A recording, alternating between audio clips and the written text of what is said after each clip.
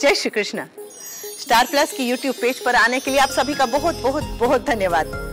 अपने favourite show देखने के लिए आ, स्टार प्लस की यूट्यूब पेज को सब्सक्राइब करें और वो बेल आइकन को हिट करना मत भूलिए। हाँ? ध्यान रखो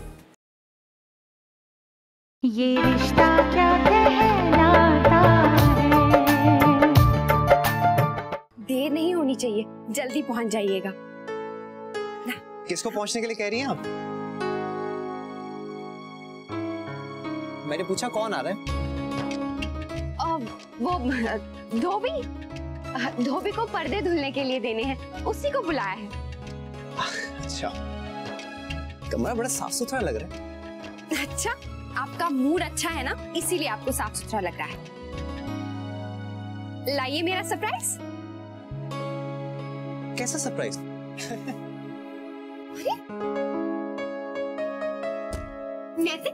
मैंने कहा मेरा सरप्राइज़ दीजिए। किस सरप्राइज़ की बात कर रही हैं आप? आप ही ने तो कहा था कि आप मुझे सरप्राइज़ देंगे। लेकिन मैंने तो आपसे ये नहीं कहा था ना कि आज दूँगा। तो कब देंगे? कभी भी। कभी कभी भी का क्या मतलब है? इतनी बेसब्री ठीक नहीं है। सरप्राइज़ का मज़ा तो इंतज़ार में होता है ना। नैतिक मैं सुबह से इंतज़ार कर रही हूँ। अच्छा ठीक है। आप नहीं देंगे ना तो मैं खुद ही देख लेती हूँ। अरे कम।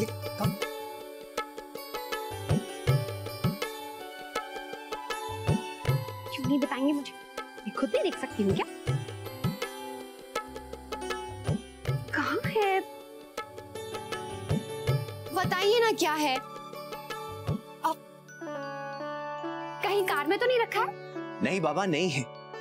आप क्यों मेरे सरप्राइज़ का प्लान चौपट कर रही हैं? मैं जब दूँगा ना तब आपके चेहरे के एक्सप्रेशंस देखना चाहता हूँ। क्या आपको कैसा लगा? क्या देखकर? वही जो मैंने आपके लिए अच्छा तो आप मेरे मुँह से उगलवाना चाहती तो फिर ठीक है। मैं भी नहीं बताऊँगी कि मैंने आपके लिए क्या सरप्राइज़ प्लान किया है। अब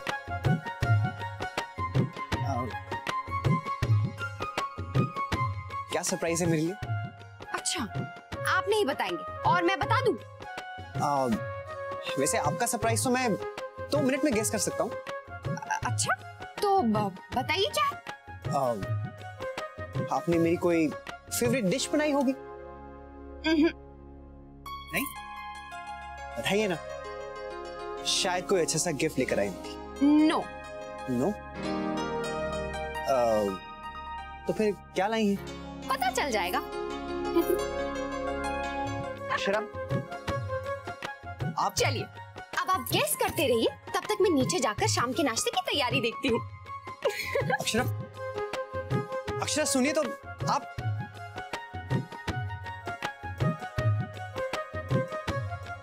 स्नेहा बोलना इतनी चुप चुप क्यों है? हम्म शर्मा रही है ना? कि कैसे कहूँ?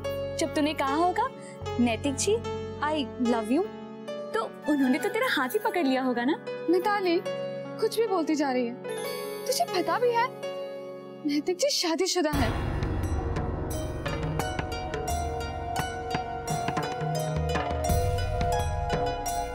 क्या? क्या कह रही है तू? उन्होंने कहा तुझसे? उन्होंने कुछ नहीं कहा। वो तो मैंने ही उनके टेबल पर वो वेडिंग कार्ड देख लिया। जिस पर लिखा था मिस्टर एंड मिसेस सिंघानिया। मतलब मिस्टर एंड मिसेस नैतिक सिंघानिया या सिर्फ़ सिंघानिया? सिर्फ़ सिंघानिया। पर वही होंगे ना? और कौन होगा? तू भी ना क्या क्या सोच रही है? अगर वो मैरिड होते तो अब तक तो तुझे कब का पता चल गया होता? और मुझे नहीं लगता कि वो शादीशुदा है। हो सकता है कि वो कार्ड उनके दादाजी के लिए या पिताजी के लिए आया हो। अगर नैतिक जी के नाम से आता तो उनका नाम लिखा होता। ठीक से बता तेरी बात क्या हुई उनसे?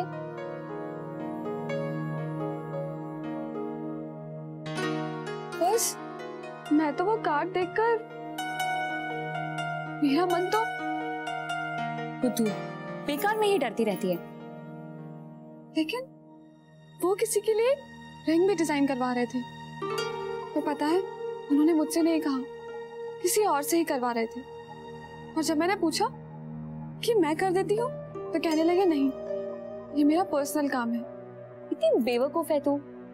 तुझसे क्यों करवाएँगे? जब तेरे लिए बनवा रहे हैं तो तुझसे क्यों कहेंगे? समझिया नहीं? क्या? मेरे लिए क्यों? नहीं नहीं। देखना मेरी बात सच होगी। फुल प्लानिंग के साथ प्रपोज करेंगे तुझे।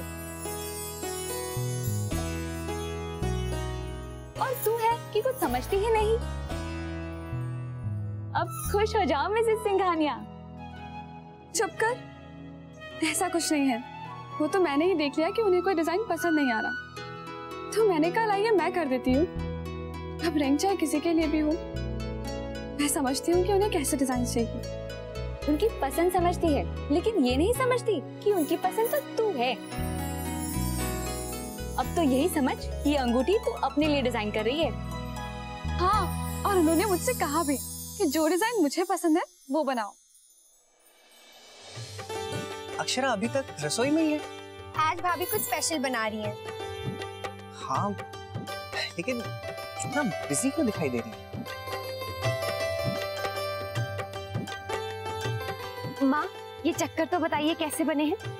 क्या बनाया है बेटा? अरे वाह चीज़ पकोड़े मैं खाकर देखती हूँ। अरे वाह ये तो बहुत अच्छे हैं। माँ खाकर देखिए।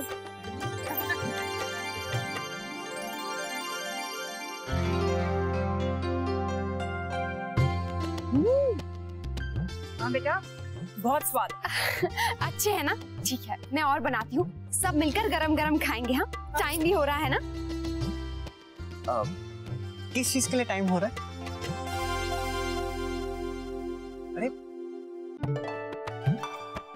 वो नाश्ते के लिए मुन्ना। नाश्ते के लिए? लेकिन आज ये सब क्यों बन रहा है? बहू का मन किया तो हमने कहा बना लो। है ना छोटी दुल्हन? और नहीं तो क्या? क्यों? नहीं बना सकते क्या? हाँ हाँ क्यों नहीं?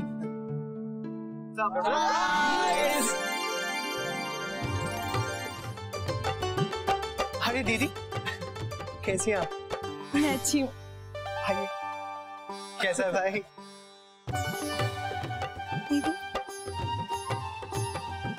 प्यारी लग रही है आज।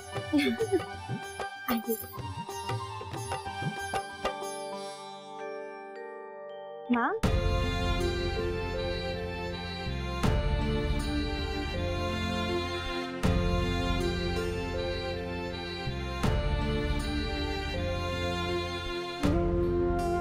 कैसी है छोटी माँ?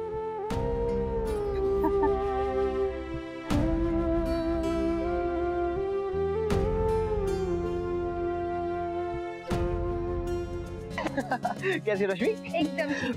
भाभी माँ बेटा। खुश रहो। देखिए मेरे चेहरे के एक्सप्रेशंस बिल्कुल वैसे ही है जैसा मैंने सोचा। क्या बात है नैतिक। भाभी ने तो कमाल कर दिया। क्या सरप्राइज़ प्लान किया है? सच। वैसे भाभी ये तो नैतिक का सरप्राइज़ था। अब हमारा क्या? मतलब? अ, मतलब ये मेरी दरअसल जो दिलचस्पी है वो खाने पीने की चीज़ों में ज़्यादा है। आप लोग बैठिए मैं अभी लेकर आई जी। मैं जाकर भाभी की मदद कर। देती हूँ चलो हम लोग कमरे में बैठते हैं। हाँ हाँ क्यों नहीं? चलो। आ बेटा। हम भी कमरे में बैठते हैं। जी। माँ बाबूजी कब तक आएँगे? आते ही होंगे। और तू बता। तू कैसी है? मैं बिल्कुल ठीक हूँ। आपका चेहरा ऐसा उतरा हुआ क्यों है? आप अपना ठीक से ख्याल नहीं रख रही ना? मैं ऐसी ही हूँ। तेरी सास की तबीयत कैसी है? वो बेचारी सर दर्द से बहुत परेशान रहती है।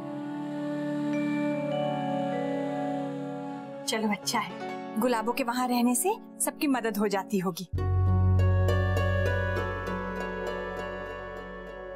नंदिनी?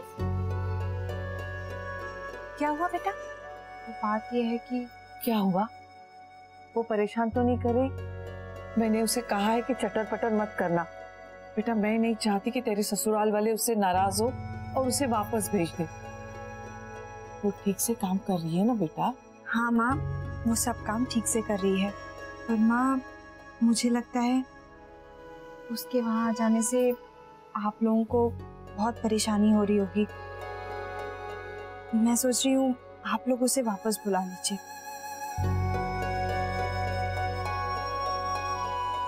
नहीं बेटा परेशानी की क्या बात है? यहाँ इतने नौकर है हमारा काम हो जाता है। हाँ माँ लेकिन हमारा परिवार छोटा सा है। ज़्यादा काम ही नहीं होता। कोयल भी मदद कर देती है। और मेरी सासू माँ तो मुझे कुछ भी काम नहीं करने देती। वहाँ गुलाबों की इतनी ज़रूरत नहीं है। मैं ऐसा करती हूँ, उसे भेज देती हूँ।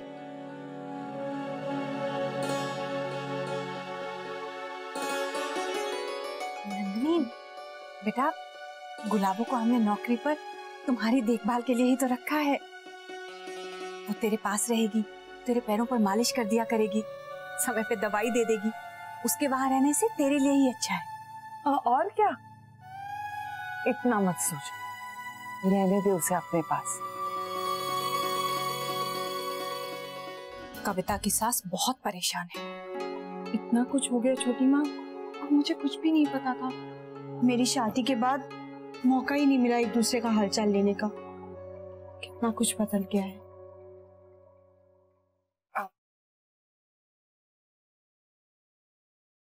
ये लीजिए दीदी। और क्या कह रही थी वो? शर्मा जी का फ़ोन आया था इनके पास। बहुत मानते हैं ना इन्हें। कह रहे थे कि ये उनके बेटा बहू में सुलह करा दे। लेकिन भाभी माँ हम कैसे बीच में पड़े?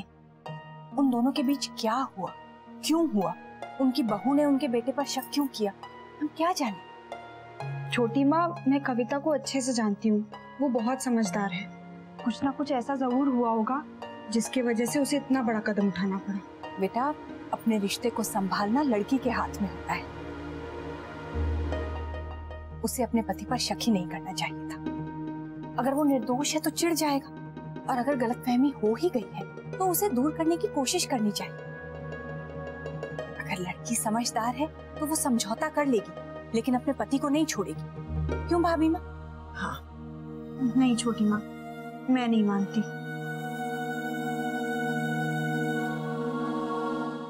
क्या सोच रही है भाभी? आपको क्या लगता है? क्या? यही शर्मा आंटी के बहू बेटे के प्रॉब्लम्स के बारे में। हाँ अक्षरा बोलो तुम्हें क्या लगता है?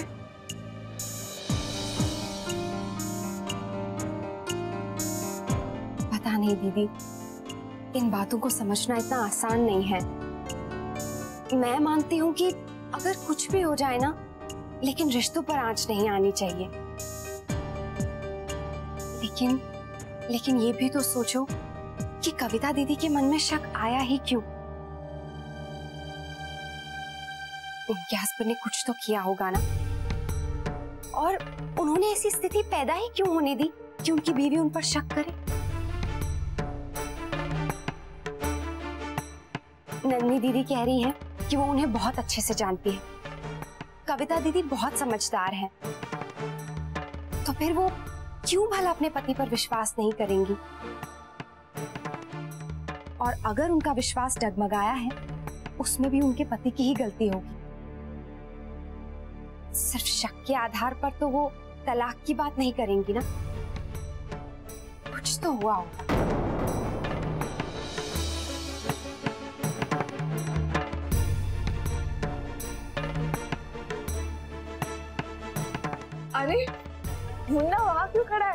अंदर आजा बेटा।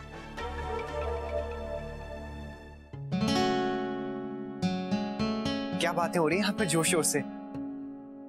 वहाँ मेरे दोस्त नाश्ते का इंतज़ार कर रहे हैं। अरे मैं तो मैं तो भूल ही गई।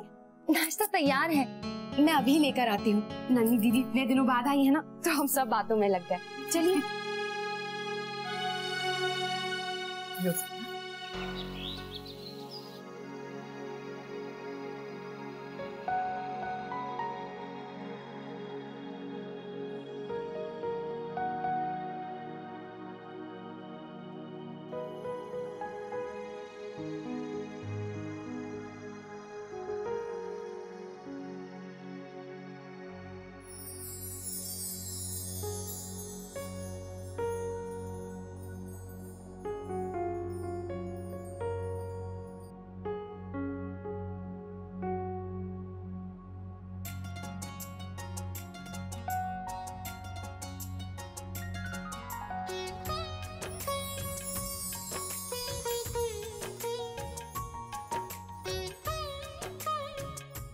क्या बात है?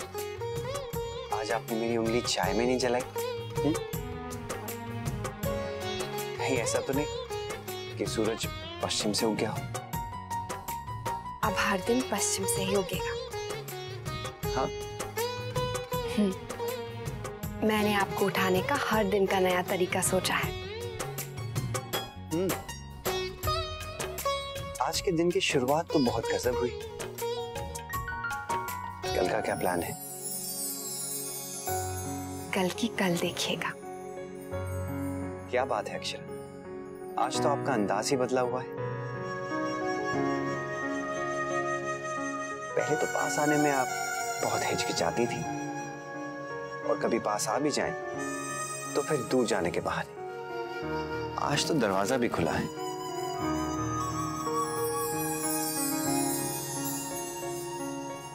आप मेरे इतने पास हैं। डर नहीं लग रहा। अपने हस्बैंड के साथ हूँ। तो डरूं क्यों? हम्म। अगर माँ आ गई तो? तो क्या हुआ? हमें साथ देखकर वो खुशी हो जाएँगी। अच्छा। अक्षरा? माँ नैतिक हाथ छोड़िए प्लीज़ माँ आ रही है जल्दी। तो क्या फ़र्क पड़ता है? आने दीजिए। नहीं नैतिक प्लीज़ छोड़िए ना। अक्षरा साथ में देखकर वो खुशी हो जाएँगी। वो आ रही है नैतिक दरवाज़ा भी खुला है। होने दीजिए। अक्षरा बेटा आई माँ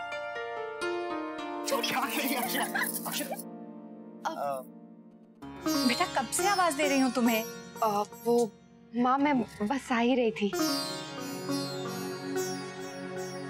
मैंने सबके लिए नाश्ता बना दिया है। मेरे सर में थोड़ा दर्द है। मैं अपने कमरे में हूँ। तुम सबको परोस देना और टिफ़िन तैयार करने होंगे। माँ मैं बाम लगा दू? दवाई ले ली है बस ठीक हो जाएगा। तुम सब संभाल लोगी?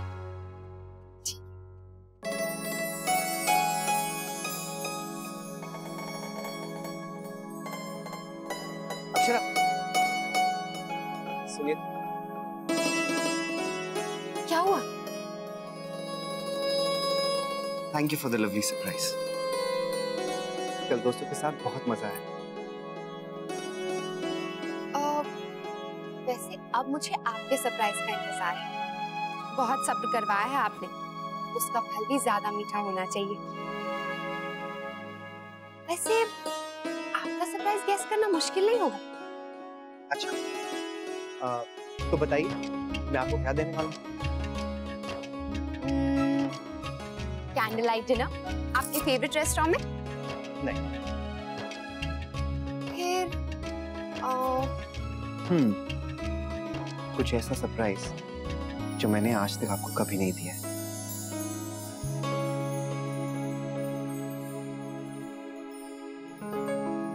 तो फिर ठीक है। ऐसे सरप्राइज़ को सरप्राइज़ ही रहने दीजिए।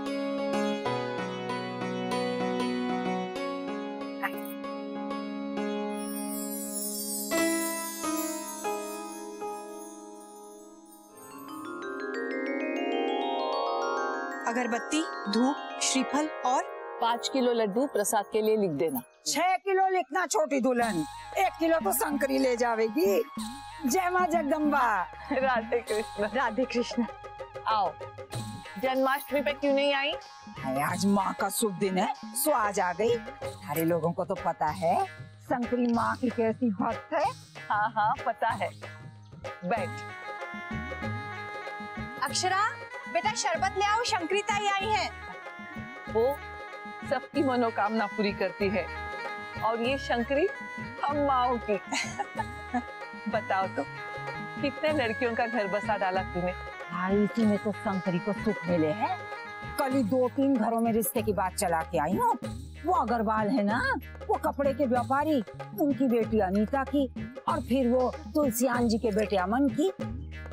अब वो छोरी है ना? अरे थाइर भाऊ के घर जलसे के दिन बताया था ना? स्नेहा, उसकी भी। और उसकी दादी और माँ कब से उसके लिए छोरा ढूंढ रहे हैं? अभी कोई लड़का पसंद किया है तो मैंने फ़ोटो देखने को बुलाया था। और लो, फ़ोटो खुद ही कहीं रख के भूल गई कि कहाँ रखी। थी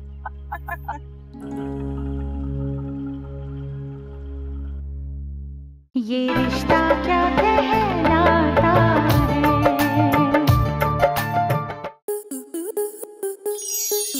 स्टार प्लस के ऐसे ही और बेहतरीन लम्हे देखने के लिए सब्सक्राइब करें हमारे यूट्यूब चैनल को।